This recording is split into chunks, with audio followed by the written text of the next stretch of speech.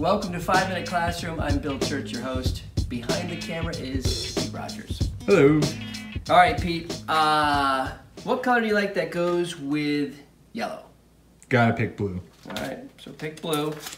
The project we're gonna do today, Pete, is a spin art project with a Lego motor, the construction paper, your color blue, and cardboard. The, the stuff we're gonna need for this project, so the paper, the cardboard, a Lego axle, gear, some black pegs here, and then, although not essential, uh, but always fun to use, the brass fasteners.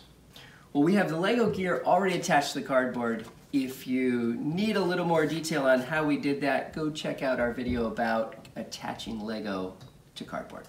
Okay, so we've got our, our canvas. Let me put my axle here, and I'm gonna put it into the motor here. Uh, we're gonna use our trick of one motor connected to another motor to do that, but I've got to attach my beautiful piece of yellow construction paper, and that's where the brass fasteners come in. Uh, you could use tape, you could use glue, other things, but we're gonna use the brass fasteners, because it's fun. And we're gonna poke this through. Boy, this is the toughest cardboard I've ever used, Pete. okay, um, one there, and they just look cool, so that's always fun. We've got our uh, canvas here. Are you ready to do some art? I'm ready. Okay, Pete, I need your help. Now I get to effortlessly Zoom in. slide into camera. All right, excellent. Go ahead and, and turn that motor. This motor is the generator for this motor. Really cool. Now let's use that for our spin art extravaganza. All right. Okay, you ready? Go Ready. ahead. Go ahead. And voila. Super cool spiral. Super cool spiral. Um, but we've got other colors here. What's our next color, Pete? Red. Okay, take out some red. Um, should we add a splash of red? A da- a drip. A drip of red. Okay, ready? Yes. Go ahead. One drip, two drips, three drips, four drips, five drips, six drips, seven drips. Okay, we got some drips of red. Um, what's our next color? Green. Okay. So, Pete, I did the spiral by coming in. I did the drips by up, poking up and down. What should I do next? Uh, let's do squiggly lines. All right. So, squiggly lines. Right, go There you go. So we got some squiggles out there. Squiggle, squiggle, squiggle, squiggle, squiggle, squiggle. And oh, voila, that is beautiful. That is- It is a true work of art. okay. Yes. Yes. Good. So we've got the spin art here.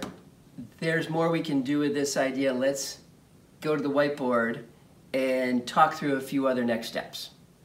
In this episode of Five Minute Classroom, we did a super cool spin art project. Where can we go next with this? As a, because we're connected to the, the Lego brick, the Lego brains, we can immediately turn this into a coding project and challenge our students to write the program to move the motor at different speeds or with different patterns and see what the resulting effect is in your artwork.